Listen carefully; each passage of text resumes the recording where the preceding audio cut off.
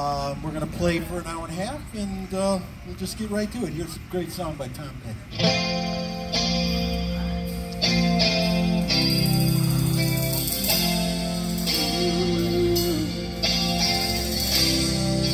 She's a good girl, loves her mom, loves Jesus and America too. She's a good crazy about Elvis, loves horses and a boyfriend too.